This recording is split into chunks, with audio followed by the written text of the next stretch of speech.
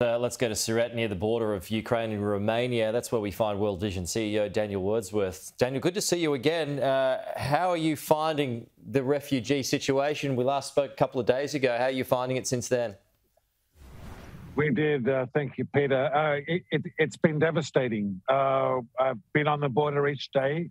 We're seeing um, a real uptick actually in refugee movements as the intensification of fighting is occurring we're seeing an intensification in the number of people that are fleeing.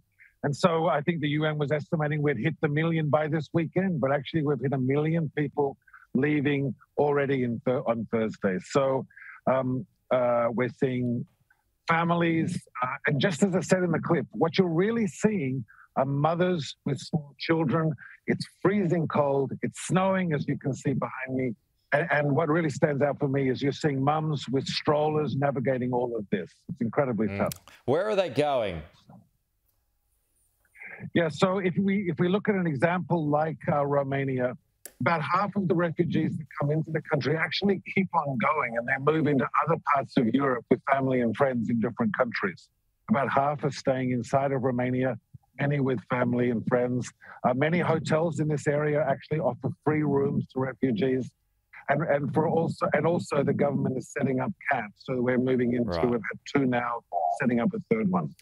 So, from the refugees that, that you speak to, and, and you talk, talked about women and children there because all the men over the age of 16 have to stay and fight. But I mean, are they telling you that they want it to be temporary, that ultimately they do want to go back, uh, go back to their home if it's still there, and go back to, you know, the, the men in their lives if if they are still alive?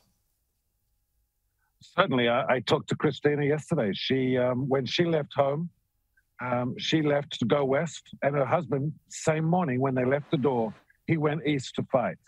And uh, she had a, her young daughter. She was eight years old with her, and she said, "If it wasn't for my daughter, I would have gone east with my husband. But we have to prioritize our our child, and so I'm bringing her west. But as soon as we can, we need to be reunited. And so I think." I think they're desperately hoping, like most refugees, that this is temporary.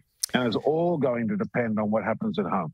Are, are, the facilities and supplies able to be enough for, for the the massive amount of refugees that are crossing the border? Because if we hit a million now, it's it's obviously going to be more.